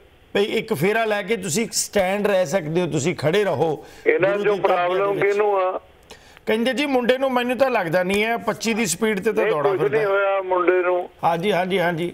ਬੜਾ ਸਿੱਧਾ ਤੁਰਨ ਡਿਆ ਬੈਠਣ ਨੂੰ ਉਹਨੂੰ ਕੀ ਪ੍ਰੋਬਲਮ ਆ? ਬੈਠੇ ਨੂੰ ਉਹਨੂੰ ਕੀ ਪ੍ਰੋਬਲਮ ਹੈ ਬਿਲਕੁਲ ਬਿਲਕੁਲ ਹੈ। ਬਿਲਕੁਲ ਬਿਲਕੁਲ ਮੇਰਾ ਮਤਲਬ ਕਦੇ ਬਹਿੰਦਾ ਹੀ ਨਹੀਂ ਹੋਊਗਾ। ਉਹੀ ਉਹੀ ਗੱਲ ਹੈ ਉਹੀ ਗੱਲ ਹੈ। ਜ਼ਮੀਨ ਤੇ ਬਹਿਣਾ ਤਾਂ ਨਿਮਰਤਾ ਦੀ ਨਿਸ਼ਾਨੀ ਆ। ਹਾਂ। ਡਾਊਨ ਟੂ ਦਾ ਅਰਥ ਡਾਊਨ ਟੂ ਦਾ ਅਰਥ ਬਿਲਕੁਲ ਬਿਲਕੁਲ। ਤੇ ਗੁਰੂ ਗ੍ਰੰਥ ਸਾਹਿਬ ਦੇ ਸਾਹਮਣੇ ਤੇ ਆ ਜਿਹੜੇ ਗ੍ਰੰਥੀ ਸਿੰਘ ਬੈਠੇ ਆ ਤੇ ਕੀਰਤਨੀਏ ਬੈਠੇ ਆ ਉਹਨਾਂ ਨੂੰ ਸ਼ਰਮਸਾਰ ਹੋਣਾ ਚਾਹੀਦਾ ਇਸ ਗੱਲ ਤੇ। ਬਸ ਸਰ ਚੱਪਣੀ ਨਹੀਂ ਥੀ ਆਉਂਦੀ ਉੱਥੇ। ਮੈਂ ਸਮਝਾਂਗਾ ਕਿ ਏਡੇ ਵੱਡੇ ਪ੍ਰਚਾਰ ਕਰਦੇ ਹੋ ਰੋਜ਼ ਤੁਸੀਂ ਸਿੱਖਿਆਵਾਂ ਲੋਕਾਂ ਨੂੰ। ਸਾਰਿਆਂ ਨਾਲੋਂ ਪਹਿਲੀ ਗੱਲ ਆ ਮੁੰਡੇ ਮਰ ਗਏ ਆਲੇ ਦੁਆਲੇ ਸਿੱਖਾਂ 'ਚ ਤੇ ਪੰਜਾਬੀਆਂ 'ਚ ਜਿਹੜਾ ਮੁੰਡਾ ਇਹ ਸ਼ਰਤ ਲਾਉਂਦਾ ਮੈਂ ਬਹਿਣਾ ਨਹੀਂ। ਹੂੰ। ਉਹਦੇ ਨਾਲ ਵਿਆਹ ਕਰਾਉਣ ਦੀ ਕੀ ਜ਼ਰੂਰਤ ਆ? ਦੂਜੀ ਗੱਲ ਇਹ ਆ ਵੀ ਉਹ ਗੱਲ ਉਹ ਵੀ ਠੀਕ ਆ ਗੈਰ ਸਿੱਖ ਦੇ ਫੇਰੇ ਜਿਹੜਾ ਆਨੰਦ ਆਨੰਦ ਕਾਰਜ ਜ਼ਰੂਰੀ ਥੋੜਾ ਹੂੰ ਹੂੰ ਹੂੰ ਹੂੰ, ਹੂੰ ਮੈਂ ਸੈਕਰਾਮੈਂਟੋ ਇੱਕ ਪਰਿਵਾਰ 'ਚ ਗਿਆ ਸੀ। ਕੁੜੀ ਨੇ ਗੋਰੇ ਨਾਲ ਵਿਆਹ ਕਰਾਇਆ। ਪਹਿਲਾਂ ਉਹ ਸਰਦਾਰ ਬਣਿਆ। ਜੀ। ਉਹਨੇ ਪੰਜਾਬੀ ਸਿੱਖੀ। ਉਹਨੇ ਲਾਵਾਂ ਦੇ ਅਰਥ ਸਮਝੇ। ਜੀ। ਪੰਜਾਬੀ ਖਾਣੇ ਬਣਾਉਣੇ ਵੀ ਸਿੱਖੇ ਸ਼ੇਅਰ ਕਰਨ ਲਈ। ਜੀ। ਇਹ ਵਿਆਹ ਹੋਇਆ। ਹੂੰ। ਫਰਜ਼ਾਂ ਦੀ ਗੱਲ ਹੈ ਜੀ ਬਸ। ਸਾਹਮਣੇ ਆ ਜੋਗੀ ਦੇ ਜਿੰਨੇ ਸਿੱਖਿਆ ਬਣੇ ਹੋਏ। ਹਾਂਜੀ ਹਾਂਜੀ ਸਾਰੇ ਥੱਲੇ ਬਹਿ ਕੇ ਕੀਰਤਨ ਕਰਦੇ ਆ। ਬਿਲਕੁਲ ਜੀ ਬਿਲਕੁਲ ਬਿਲਕੁਲ ਬਿਲਕੁਲ। ਉਹ ਪ੍ਰੋਫੈਸਰ ਸੁਰਿੰਦਰ ਸਿੰਘ ਦੇ ਨਾਲ ਕੋਈ ਮਲੇਸ਼ੀਆ ਦਾ ਆ ਕੋਈ ਕਿਤੇ ਦਾ ਆ ਕੋਈ ਕਿਤੇ ਦਾ ਆ, ਸਾਰੇ ਬਹਿ ਕੇ ਕੀਰਤਨ ਕਰਦੇ ਆ। ਬਿਲਕੁਲ ਬਿਲਕੁਲ। ਥੈਂਕ ਯੂ ਬਸਾ ਬਹੁਤ ਬਹੁਤ ਸ਼ੁਕਰੀਆ। ਦੋਸਤੋ ਪ੍ਰੋਗਰਾਮ ਨੂੰ ਜਾਰੀ ਰੱਖਾਂਗੇ ਇਸੇ ਤਰ੍ਹਾਂ। ਮਿਲਦੇ ਇੱਕ ਛੋਟੇ ਜਿਹੇ ਬ੍ਰੇਕ ਤੋਂ ਬਾਅਦ। ਆ ਦੋਸਤੋ ਹਾਜ਼ਰ ਹੋਏ ਹਾਂ ਤੁਹਾਡੀ ਖਿਦਮਤ ਦੇ ਵਿੱਚ ਪ੍ਰੋਗਰਾਮ ਅੱਜ ਦਾ ਮੁੱਦਾ ਲੈ ਕੇ। ਕਰੀਏ ਤੁਹਾਡੇ ਨਾਲ ਵਿਚਾਰਾਂ। ਹੈਲੋ ਹਾਂਜੀ। ਸਤਿ ਸ੍ਰੀ ਅਕਾਲ ਜੀ ਸਤਿ ਸ਼੍ਰੀ ਅਕਾਲ। ਕੌਣ ਹੋ ਜੀ? ਹਾਂਜੀ ਮੈਂ ਹਰਵਿੰਦਰ ਰਿਆੜ ਬੋਲ ਰਿਹਾ ਜੀ। ਹਾਂਜੀ ਸਤਿ ਸ੍ਰੀ ਅਕਾਲ ਜੀ। ਸਤਿ ਸ਼੍ਰੀ ਅਕਾਲ। ਸੋ ਇਹ ਆਪਣਾ ਜਿਹੜਾ ਮੁੱਦਾ ਚੱਲ ਰਿਹਾ ਜੀ ਕੁਰਸੀਆਂ ਵਾਲਾ ਵੈਸੇ ਹੈ ਤੇ ਚਲੋ ਆਪਾਂ ਬੇਅਦਬੀ ਕਹਿ ਸਕਦੇ ਆ ਜੀ। ਪਰ ਇਹ ਆਪਾਂ ਹੁਣ ਥੋੜਾ ਜਿਹਾ ਮੈਂ ਦੋ ਗੱਲਾਂ ਕਰਨੀਆਂ ਚਾਹੁੰਦਾ ਚਲੋ ਇਹਨੂੰ ਆਪਾਂ ਬੇਅਦਬੀ ਕਹਿ ਸਕਦੇ ਇਹਨੂੰ ਸਾਈਡ ਤੇ ਰੱਖ ਲਓ। ਪਰ ਜਦੋਂ ਆਪਾਂ ਕਿਸੇ ਮਰਗ ਤੇ ਜਾਂਦੇ ਆ ਉਦੋਂ ਸੁਖਮਨੀ ਸਾਹਿਬ ਦਾ ਪਾਠ ਹੁੰਦਾ ਉਦੋਂ ਸਾਰੇ ਕੁਰਸੀਆਂ ਤੇ ਬਹਿ ਕੇ ਸੁਣਦੇ ਪਹਿਲੀ ਗੱਲ। ਦੂਸਰੀ ਗੱਲ ਜਦੋਂ ਅੱਜ ਤੋਂ ਤੇ 30 40 ਸਾਲ ਪਹਿਲਾਂ ਮਹਾਰਾਜ ਦੀ ਭੀੜ ਗੁਰੂ ਸਾਹਿਬ ਉੱਪਰ ਹੁੰਦੇ ਸੀ ਤੇ ਕੁਰਸੀਆਂ 'ਤੇ ਬਹਿ ਕੇ ਹੀ ਬੈਠੇ ਹੁੰਦੇ ਸੀ ਸਾਰੇ ਜਦੋਂ ਗੁਰਦੁਆਰਿਆਂ ਸਾਹਿਬ ਦੇ ਵਿੱਚ ਪਹਿਲਾਂ ਕੁਰਸੀਆਂ ਹੀ ਹੁੰਦੀਆਂ ਸੀ ਉਦੋਂ ਫਿਰ ਬੇਅਦਬੀ ਨਹੀਂ ਸੀ। ਕਦੋਂ ਕੁ ਦੀ ਗੱਲ ਹੈ? ਜੀ? ਕਦੋਂ ਕਦੋਂ ਕਦੋਂ ਕੁ ਦੀ ਭਾਜੀ ਗੱਲ ਹੈ? ਕਦੋਂ ਕੁ ਦੀ ਗੱਲ ਹੈ? ਇਹ ਮੈਂ ਜੀ ਜਿੰਨਾ ਕਿ ਮੈਨੂੰ ਪਤਾ 1960 ਤੋਂ ਪਹਿਲਾਂ ਦੀ ਆ। ਉਦੋਂ ਪਹਿਲਾਂ ਹੋ ਸਕਦੀ ਮੈਂ ਕਹਿ ਨਹੀਂ ਸਕਦੀ ਪਰ ਮੇਰੇ ਕੋਲ ਫੋਟੋਆਂ ਹੈਗੀਆਂ ਕਿ ਜੂਬਾ ਸਰੀ ਦੇ ਗੁਰਦੁਆਰਿਆਂ ਦੇ ਵਿੱਚ ਕੁਰਸੀਆਂ ਹੁੰਦੀਆਂ ਸੀ ਫੇਰੇ ਹੋਣ ਦੇ ਕੁਰਸੀਆਂ ਦੇ ਉੱਤੇ। ਤੇ ਲੋਕੀ ਉਹਨੂੰ ਲਾਇਸੈਂਸ ਨਹੀਂ ਮਿਲਦਾ ਹੁੰਦਾ ਸੀ ਇਹ ਗੁਰਦੁਆਰਾ ਸਾਹਿਬ ਦਾ ਕਿਉਂਕਿ ਗਿਰਜਾ ਘਰਾਂ ਦੇ ਵਿੱਚ ਕੁਰਸੀਆਂ ਹੁੰਦੀਆਂ ਸੀ।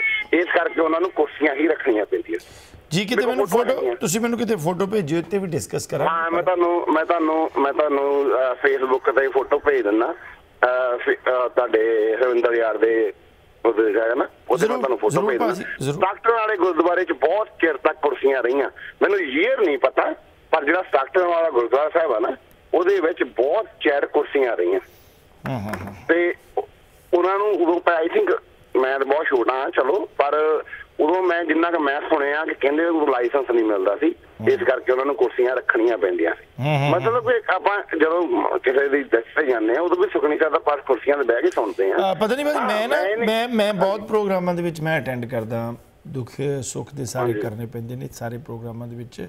ਪਰ ਸਾਡੇ ਜਿਹੜੇ ਮਤਲਬ ਮੈਂ ਸਮਝਾਂਗਾ ਫਿਊਨਲ ਹੋਮ ਵੀ ਹੈ ਸਾਰੀ ਸੰਗਤ ਭੁੱਜੇ ਬੈਠੀ ਹੁੰਦੀ ਹੈ ਕੋਈ ਮਜਬੂਰ ਵਿਅਕਤੀ ਜਿਹੜਾ ਸਾਡੇ। ਸਾਡੇ ਕੈਲੀਫੋਰਨੀਆ ਚ ਨਹੀਂ ਜੀ ਤਾਂ ਹਜੇ। ਅੱਛਾ ਨਹੀਂ ਸਾਡੇ ਤਾਂ ਜੀ ਜਿਹੜੇ ਗੋਰਿਆਂ ਦੇ ਫਿਊਨਲ ਹੋਮ ਨੇ ਜੀ। ਗੋਰਿਆਂ ਦੇ ਫਿਊਨਲ ਹੋਮ ਨੇ।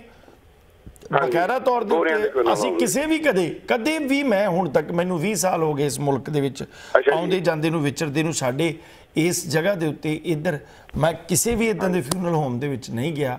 ਚਾਹੇ ਉਹ ਹਿੰਦੂ ਮਰਿਆਦਾ ਵਾਲੇ ਬੰਦੇ ਵੀ ਹੈ ਆਪਣੇ ਵੀ ਹੈ ਉਹਨਾਂ ਦੇ ਬਕਾਇਦਾ ਤੌਰ ਦੇ ਉੱਤੇ ਹਾਲ ਹੈ ਥੱਲੇ ਬਕਾਇਦਾ ਤੌਰ ਦੇ ਉੱਤੇ ਚਾਦਰਾਂ ਵਿਛਾ ਕੇ ਪਰ ਸਾਡੇ ਹਾਂਜੀ ਪਰ ਸਾਡੇ ਵੀ ਕੈਲੀਫੋਰਨੀਆ ਦੇ ਵਿੱਚ ਮੈਨੂੰ ਵੀ 14 15 ਸਾਲ ਆਏ ਨੂੰ ਹੋ ਗਿਆ। ਸਾਡੇ ਮੋਸਟਲੀ ਜਿੱਦਾਂ ਮਤਲਬ ਗੋਰਿਆਂ ਦੇ ਫਿਊਨਲ ਹੋਮ ਆ ਤੇ ਮਾਰ- ਭਾਈ ਸਾਹਿਬ ਖੜੇ ਹੁੰਦੇ ਆ ਖੜ ਕੇ ਪਾਠ ਕਰਦੇ ਆ ਮੋਸਟਲੀ ਸਾਰੇ ਜਿਹੜੇ ਕੁਰਸੀਆਂ ਤੇ ਬਹਿ ਕੇ ਸੁਣਦੇ ਆ। ਤੇ ਚਲੋ ਉਹ ਮੈਂ ਮੈਂ ਮੈਂ ਮੈਂ ਮੰਨਦਾ ਇਹ ਗਲਤ ਗੱਲ ਹੋਣੀ ਨਹੀਂ ਚਾਹੀਦੀ।